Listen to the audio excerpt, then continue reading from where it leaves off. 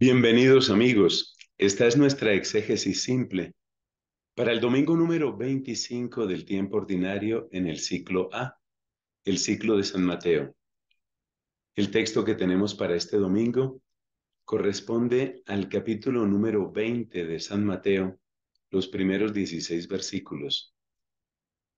Se trata una vez más de una parábola de nuestro Señor Jesucristo una parábola que puede causar cierto desconcierto, porque quizás nuestra idea de justicia entra en conflicto al escuchar lo que nos dice el Señor.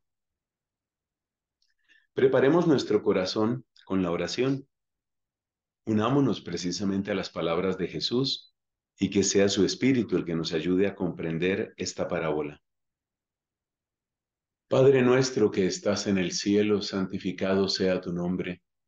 Venga a nosotros tu reino, hágase tu voluntad en la tierra como en el cielo. Danos hoy nuestro pan de cada día. Perdona nuestras ofensas como también nosotros perdonamos a los que nos ofenden. No nos dejes caer en la tentación y líbranos del mal. En el nombre del Padre y del Hijo y del Espíritu Santo. Amén. Aquí tenemos nuestro texto. Como de costumbre, lo leeremos primero en español. En efecto, el reino de los cielos es semejante a un propietario que salió a primera hora de la mañana a contratar obreros para su viña. Habiéndose ajustado con los obreros en un denario al día, los envió a su viña. Salió luego hacia la hora tercia y al ver a otros que estaban en la plaza parados, les dijo, también vosotros, id también vosotros a mi viña, y os daré lo que sea justo. Y ellos fueron. Volvió a salir a la hora sexta y a la nona, e hizo lo mismo. Todavía salió a eso de la hora undécima, y al encontrar a otros que estaban allí, les dice, ¿por qué estáis aquí todo el día parados? Dícenle, es que nadie nos ha contratado. Díceles, id también vosotros a la viña. Al atardecer, dice el dueño de la viña a su administrador, llama a los obreros y págales el jornal, empezando por los últimos hasta los primeros. Vinieron pues los de la hora undécima y cobraron un denario cada uno. Al venir los primeros pensaron que cobrarían más, pero ellos también cobraron un denario cada uno. Y al cobrarlo murmuraban contra el propietario diciendo, estos últimos no han trabajado más que una hora y les pagas como a nosotros, que hemos aguantado el peso del día y el calor. Pero él contestó a uno de ellos, Amigo, no te hago ninguna injusticia. ¿No te ajustaste conmigo en un denario? Pues toma lo tuyo y vete. Por mi parte, quiero dar a este último lo mismo que a ti. ¿Es que no puedo hacer con lo mío lo que quiero? ¿O va a ser tu ojo malo porque yo soy bueno? Así, los últimos serán primeros y los primeros últimos. Esta parábola de Cristo nos trae, como dijimos al principio, el tema de la justicia. Específicamente, nos lo encontramos ya en el versículo número 4, cuando a los que fueron contratados a la hora tercia, es decir, sobre las nueve de la mañana, les dijo, os daré lo que sea justo. En griego, hoean hedikayon doso humin. Dikayon. Dikaios es la palabra para decir justo. Así que lo justo es parte del mensaje esencial de esta parábola. Pero tenemos también otro mensaje que tiene que ver con el trabajo, el trabajo y el sueldo observemos que aparecen en la parábola varios que estaban sin trabajar. Sin trabajar se dice argos. argos, es el que está sin ergón. Ergón es el trabajo. Y argos, pues corresponde a ese estar sin trabajo. Entonces, el trabajo o el estar sin trabajo, lo justo, por ese lado va esta parábola. Con esa aclaración inicial, vayamos a los versículos por orden. Homoia garestin gebasileia tonuranon, anthropo oiko despote. Entonces, homoia, homoios quiere decir lo que es semejante. Entonces, por ejemplo, cuando se habla de algo que es homogéneo, es porque tiene todo de la misma clase, homogéneo. Por supuesto, de ahí viene también, por ejemplo, la palabra homofobia, se supone que es la persona que odia a los que son homosexuales, que a su vez significa los que prefieren, los que tienen una preferencia por el mismo sexo. Homoya. Entonces, homoya, semejante, he basileia ton uranon. Basileia es el reino o reinado. En San Mateo se prefiere la expresión reino de los cielos, así escribe San Mateo, el reino de los cielos. En los otros evangelios se habla del reino de Dios. Mateo, indudablemente, esto lo hemos comentado varias veces, está bastante cerca a la usanza del lenguaje judío.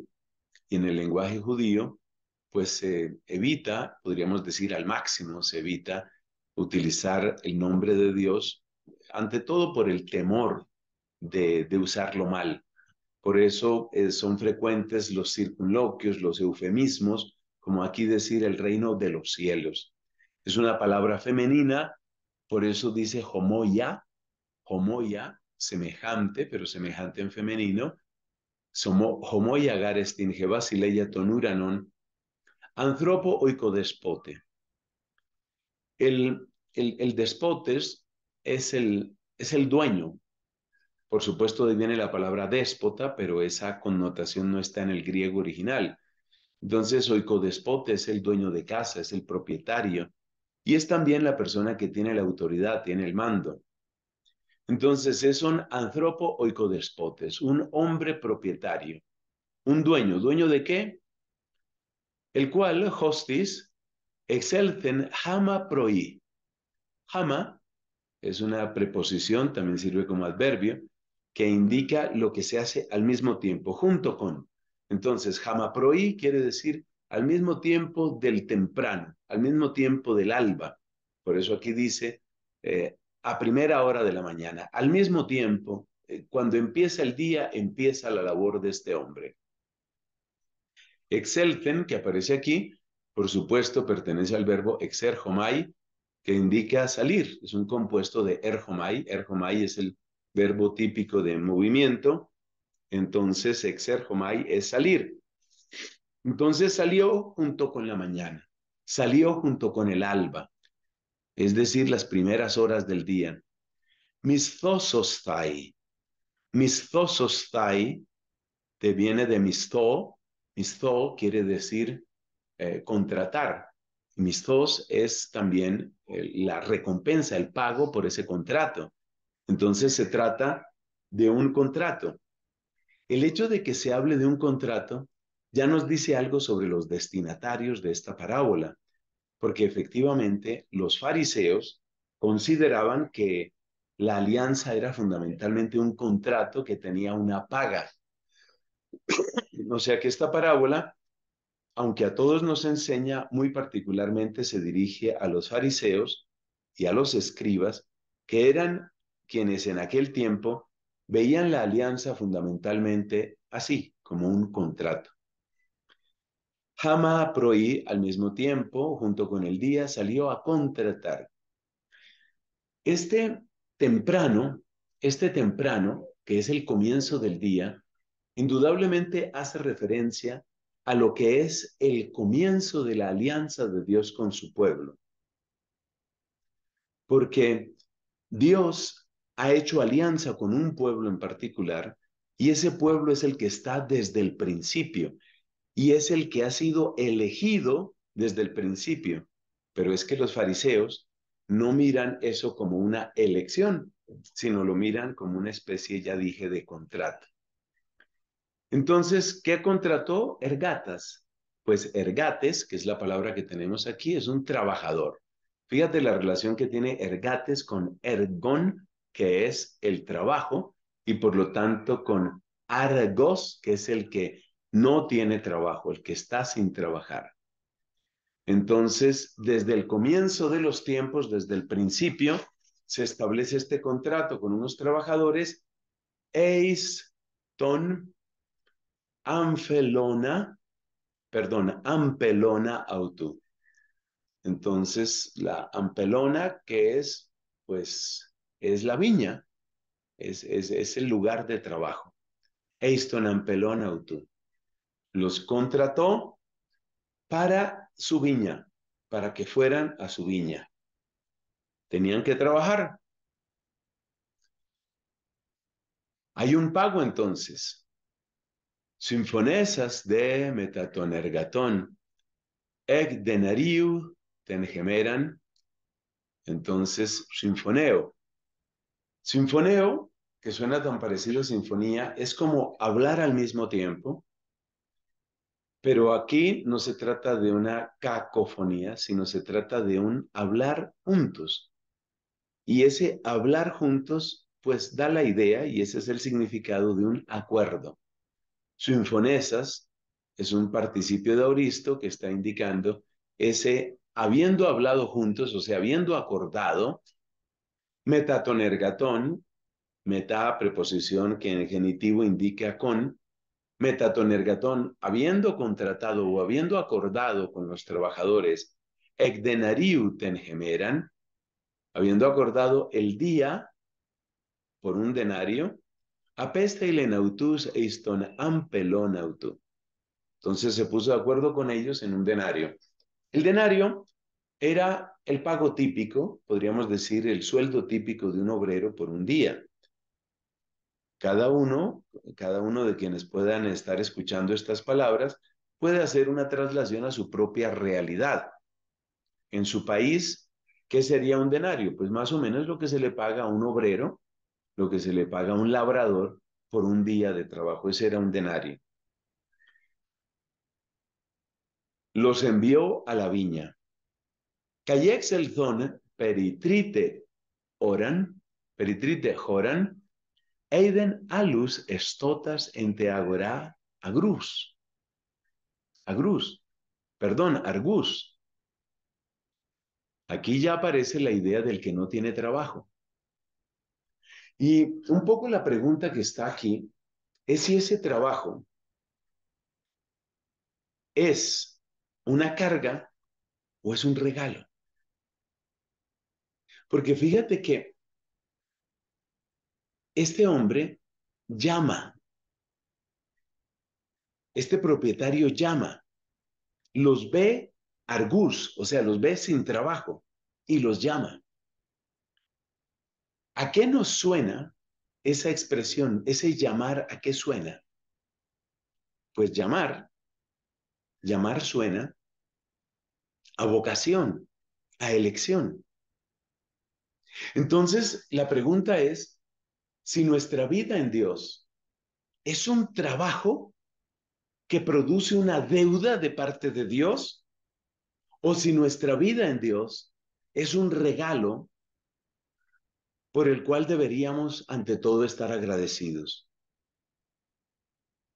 Nuestro servicio a Dios es una carga o es un regalo. Esa es la alternativa que aparece aquí. Y en cierto sentido, es el mensaje central de esta parábola.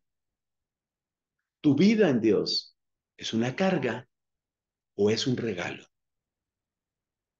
Si miras tu vida en Dios como una carga, cuanto más tiempo tengas en el servicio de Dios, más te debe Dios, porque es una carga. Si lo miras como un regalo, cuanto más tiempo estés en Dios, más tienes para agradecerle. ¿Es una carga o es un regalo? Entonces sale el propietario, peritri tejoran, es decir, alrededor de la hora tercia, eso equivale como a las nueve de la mañana en nuestro típico modo de decir el tiempo, Eiden vio a los gestotas en Teagorá, otros que estaban en la plaza. Ahora, gestotas viene del verbo histemi, y histemi hace una referencia, histemi hace una referencia al estar puesto.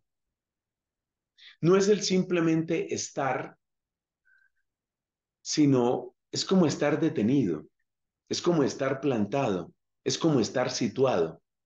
Es un estar que tiene una particular fuerza.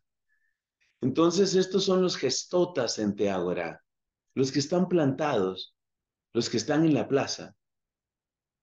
Y, y esos que están ahí plantados, situados, casi podríamos decir relegados en la plaza, son agrus. Agrus. Bueno, el nominativo sería agroi, es decir, son los que no tienen trabajo. ¿Qué les dice el propietario?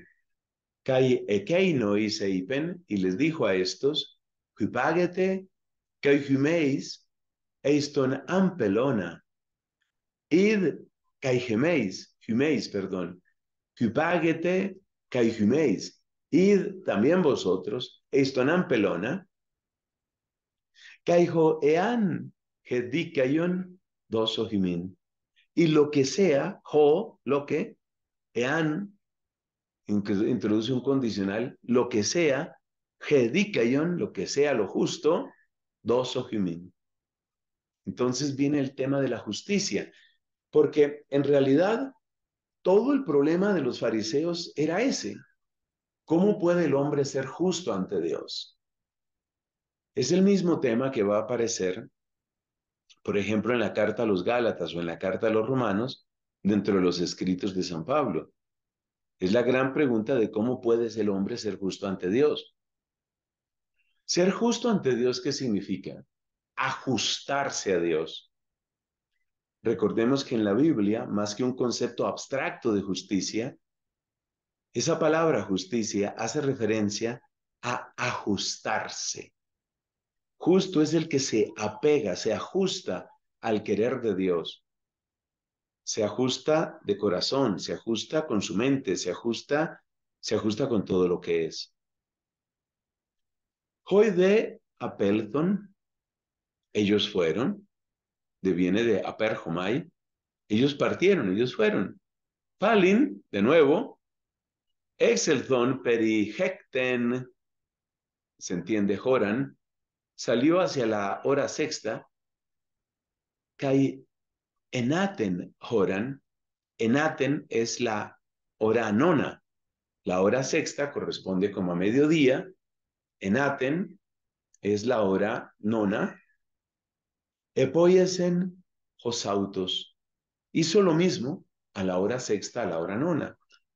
Entonces llevamos aquí cuatro grupos de trabajadores. Los trabajadores de la primera hora, los de la mañana, podríamos pensar algo como las seis de la mañana, luego los trabajadores de la hora tercia, la hora sexta, la hora nona, es decir, las nueve, mediodía, tres de la tarde.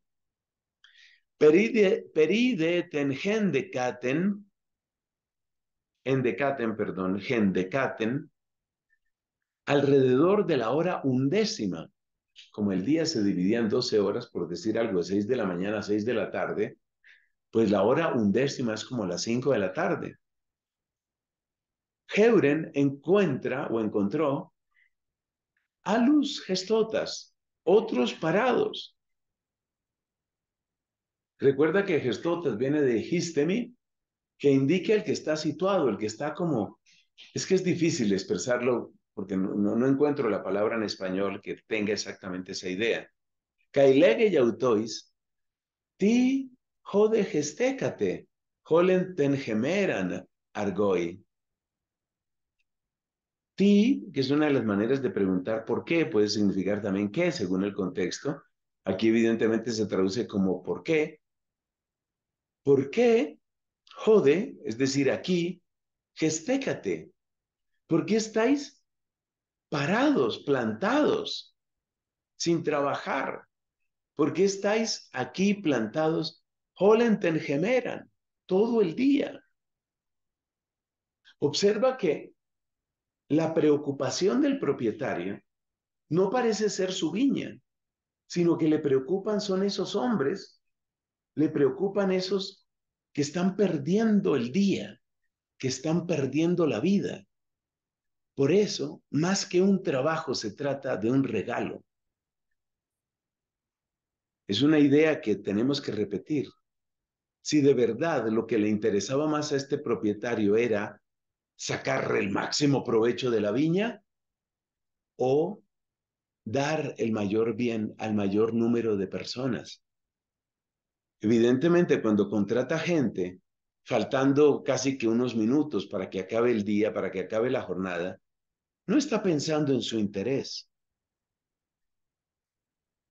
Veamos cómo aparece esto del histemi y cómo aparece esto de los contratos en la versión en latín. Vámonos, por ejemplo, al versículo sexto.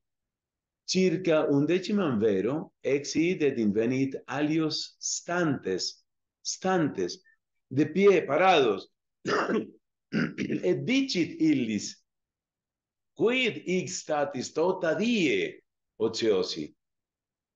¿Por qué estáis detenidos todo el día sin trabajar? Entonces, ese sin trabajar es la preocupación del propietario. ¿Por qué estás sin trabajar? ¿Qué pasa que estás sin trabajar? Dicuntei, le dicen, cuianemo nos conduxit, dixidilis ite et vos inviniam. Le dicen, nadie nos ha conducido, traduciríamos directamente. La respuesta en el griego original es esta, legus in auto, hoti udeis gemas, emiszosato emistósato, que claramente lo tenemos que traducir mejor por contratar. Nadie nos ha contratado. Uno podría pensar que esos son los descartados, los que no importan, los que no han sido interesantes para nadie. Y esto le cambia completamente el sentido a la parábola. Quiero insistir en esto. Este propietario no está pensando en primer lugar en el lucro, en la ganancia. Si, el, si algún lucro está buscando, el lucro que busca es, ¿qué hacemos para que estos hombres, qué hacemos para que ellos puedan tener trabajo? Porque ese trabajo en la viña es el regalo para ellos. Joti udeis gemas emisdósato, porque nadie nos ha contratado. Yautois, hypagete caihumeis eiston ampelona. Observa que esta es exactamente la misma expresión que les dijo a los de la hora tercia. Hypagete caihumeis eiston ampelona. Id también vosotros a la viña. Id a la viña. Opsías de genomenes opsios significa la tarde, el atardecer, el ocaso. Opsías de genomenes, ese genitivo pues está indicando una condición absoluta, es decir, llegada la tarde, genomenes es del verbo ginomai, que significa lo que llega a ser, lo que sucede. Opsías de genomenes, llegada la tarde, lege jocurios, tu ampelonos to epitropo tu. Llegada la tarde, dice Jocurios tuampelonos, aquí ya no se le llama el oicodespotes, sino se le llama el curios. Él es el Señor. Y por supuesto que el término mismo nos acerca al sentido más profundo de la parábola. El auténtico dueño de la viña es el Señor, el Señor Dios. Legi Hocurius tu ampelonos, el señor de la viña, to epitropoutu. El epítropos es el, el que está al cuidado. Ese, esa sola palabra epi ya nos está indicando el que está por encima. Aquí lo traducen por el administrador. Veamos en latín cómo aparece el versículo 8. Cum cero autem factum esse, dici dominus vine procuratori suo. El que está al cuidado, el que tiene cuidado de la viña. El administrador. ¿Cuáles son tus ergatas? Callapodos autois ton miston. ¿Cuáles son? Llámalos. Entonces hubo un llamado, hubo un llamado para trabajar y hay un llamado para recibir la paga. El llamado para trabajar es el que sucede en la plaza, es el que sucede en el mundo. Y la recompensa o el pago sucede en la viña, es decir, sucede allí en el reino de Dios. Caleson es un imperativo, el verbo caleo, que es llamar. ¿Cales son tus ergatas? Llama a los trabajadores.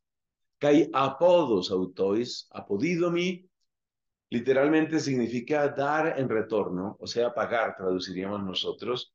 Kai apodos autois ton miston.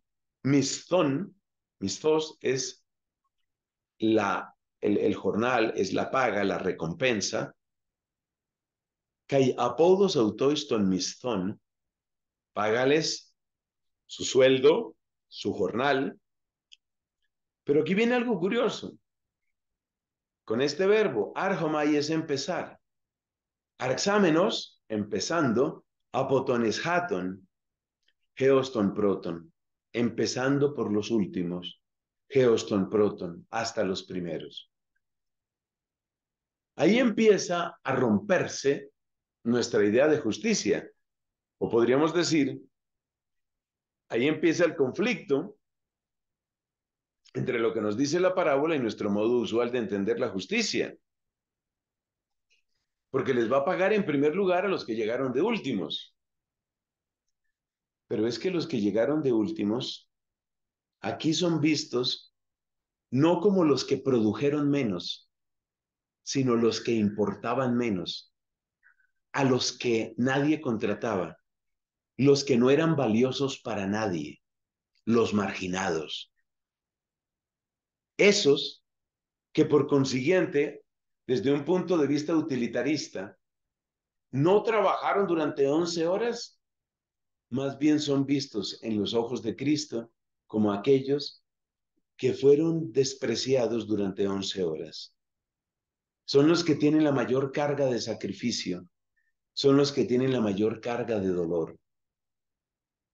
Entonces ellos, los que más han sufrido, pues en cierto sentido, son los que en primer lugar merecen este consuelo.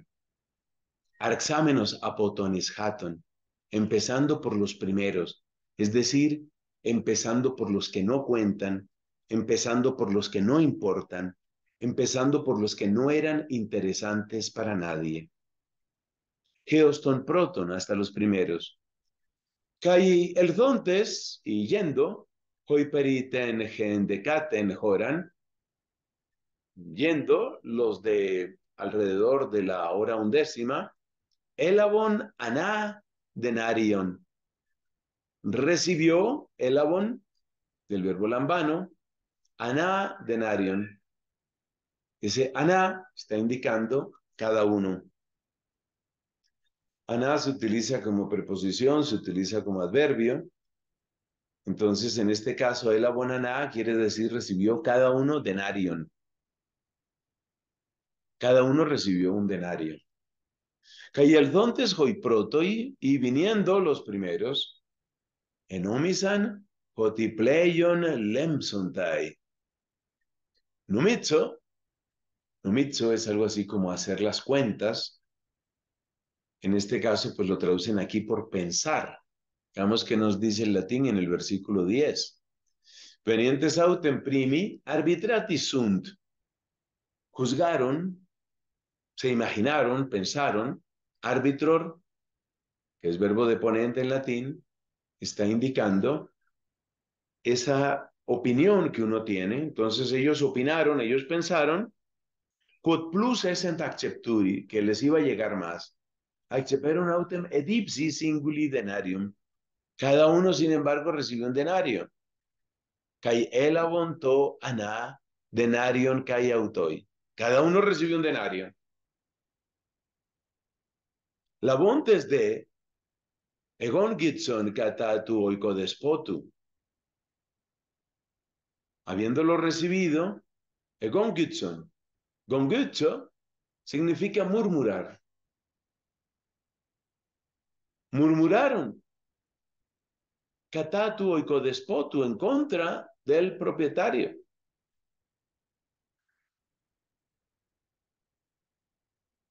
Legontes diciendo, Jutoi hoi eshatoi, estos últimos, mian joran epoyesan, solo hicieron una hora.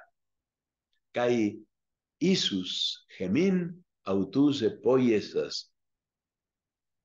Y les diste lo mismo que a nosotros. Y luego explican quiénes son ellos. Tois bastas así, tobaros tes gemeras, kaiton causona. Nosotros. ¿Nosotros quiénes? Tois bastas así, tois bastas así. Tobaros tes gemeras. Los que hemos cargado, los que hemos llevado, los que hemos aguantado. Tobaros tes gemeras. Varos indica el peso. Por ejemplo, el barómetro es el que mide el peso, el peso de la columna de aire. Tobaros tes gemeras. Nosotros, tois bastasas y tobaros tes gemeras, los que hemos cargado el peso del día, kaiton causona. Es decir, que para ellos todo era trabajo y solo trabajo. Ellos no miran la elección, no miran la oportunidad, no miran lo que significa haber sido elegidos. Por eso la pregunta, tu vida en Dios, tu manera de servir a Dios, es, es una carga o es un regalo. Porque si pensaras en términos de regalo, el regalo de haber, de haber sido llamado, el regalo de haber sido preservado del mal de tantas formas, si tú pensaras en el regalo, entonces estoy seguro que tú dirías, yo ya he recibido mucho, porque cada una de las doce horas fue una hora de bendición, fue una hora de regalo. Pero no, ellos no piensan que ha sido un regalo, ellos piensan que ha sido una carga. Jode apocriteis geni auton eipen.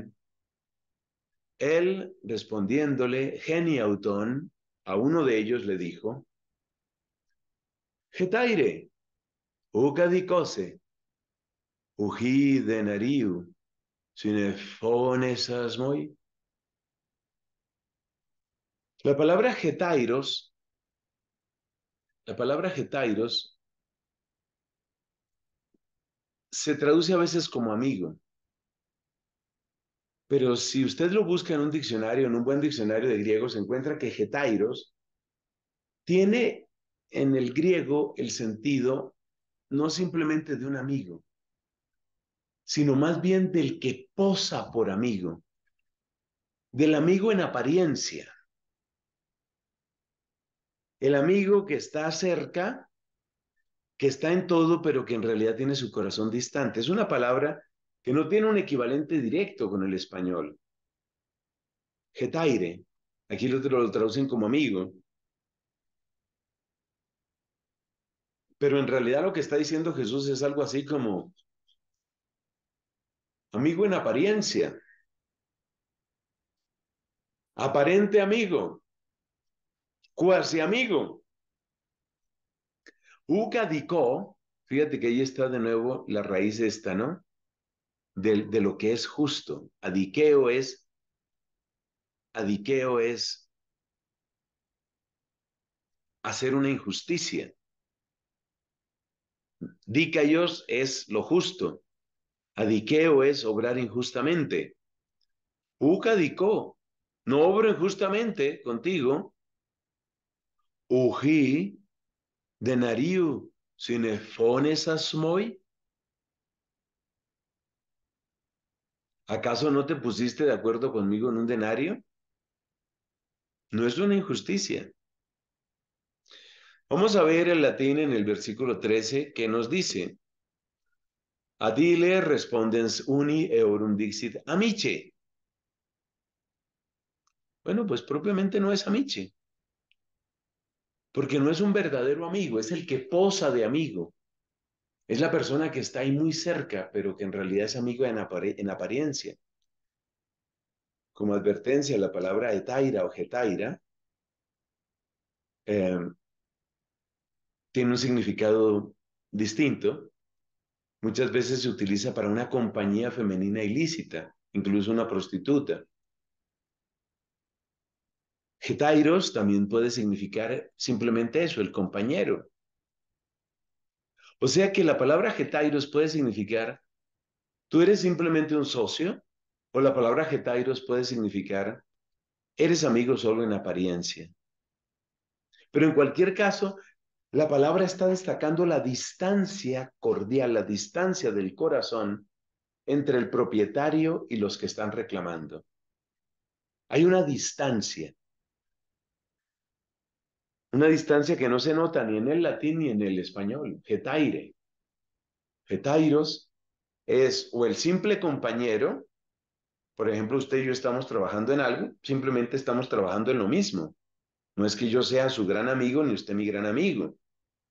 O puede significar amigo, pero un amigo en apariencia. En cualquiera de los dos casos, Getaire está indicando la distancia. Es como la distancia interior.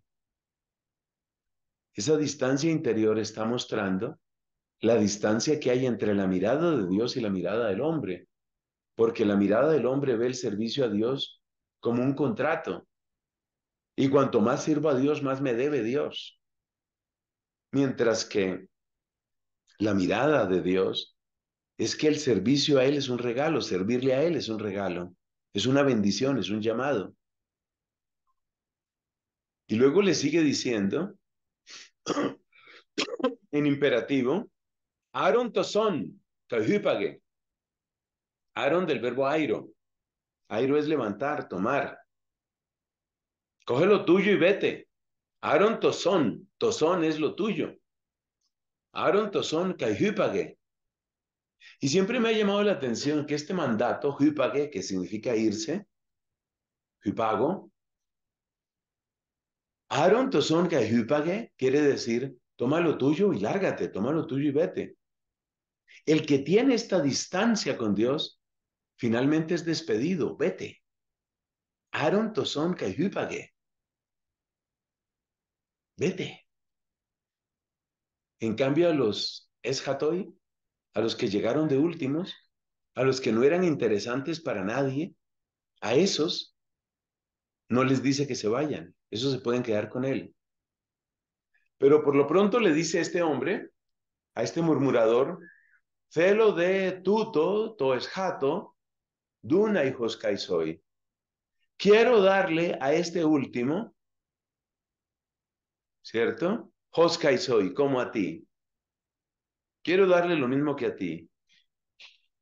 Eh, ukexestin moi, Joselo y entoisemois, ¿o es que acaso existin u que existin? Existin significa lo que es digno, lo que es correcto, lo que es legal. Literalmente lo que, lo que pregunta es, no es legal para mí, no es correcto para mí. Joselo y entoisemois, que lo que quiero lo haga en mis asuntos. Aquí se traduce con el verbo puedo, pero literalmente lo que está preguntando es si es legal. Y de nuevo, aquí hay una alusión a los fariseos, porque la obsesión de los fariseos era lo existing, lo que es legal. Si nosotros miramos las discusiones que tiene Jesús con los fariseos, varias veces aparece esta palabra. Lo que es legal en el sentido de que lo, que es de acuerdo con la ley de Moisés. Entonces pregunta Cristo, ¿qué es muy? No es legal para mí, no es correcto para mí, no es correcto que yo haga en mis cosas lo que yo quiero. E, conjunción disyuntiva, Hoftalmosu, ponerosestin, o Diego a las doce y mí. O tu ojo es malo, porque yo soy bueno. Esa es la pregunta que en el fondo Jesús le está haciendo a los que creen que viven en lo existing, creen que viven en lo que es correcto, lo que es digno. Eso es lo que ellos piensan. ¿Cómo traduce ese existing en el latín, versículo 15? Lo traduce muy cerca del griego out, non licet mici, no es lícito para mí. Así se debería traducir. O no es lícito para mí que lo que yo quiero lo haga en mis asuntos. Anoculus tus nequam est ego bonusum. O tu ojo es perverso porque yo soy bueno. ¿Se te dañó la mirada frente a mi bondad? Termina el texto diciendo, Jutos esontai hoi eshatoi. Así esontai está en futuro del verbo imi. Así esontai hoi eshatoi protoi. Así habrá muchos últimos, que serán primeros, literalmente muchos últimos primeros, kai hoi protoi eshatoi. Y muchos primeros últimos. Entonces aquí aparecen temas fundamentales. Aquí aparece la justicia, aparece lo que es legal, lo que es correcto según la ley. Aquí aparece, por ejemplo, lo que es trabajar, lo que es ser elegido, lo que es ser descartado. Porque yo puedo mirar al que llegó tarde a Dios, lo puedo mirar como un ocioso o lo puedo mirar como un descartado. Esta parábola, indudablemente, como tantas otras, quiere cambiar nuestra óptica y quiere mostrarnos algo de la manera como Dios mira, porque posiblemente, y perdón que lo repita una vez más, lo que nosotros vemos como una carga, en el fondo es una elección, una bendición y un regalo. Regalo para mí es que ustedes estén aquí, que Dios el Señor los bendiga y hasta la próxima, si Dios quiere.